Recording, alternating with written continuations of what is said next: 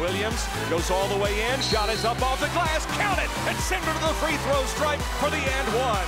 Well, people call me C. Will because Courtney Walker, Courtney Williams. I'm Williams, so they call me C. Will. Well, I started playing basketball when I was three, and I used to just always go in my backyard and when I was three with my uncle and play basketball. And my dad started putting me in like little leagues and stuff, so I just stuck with it.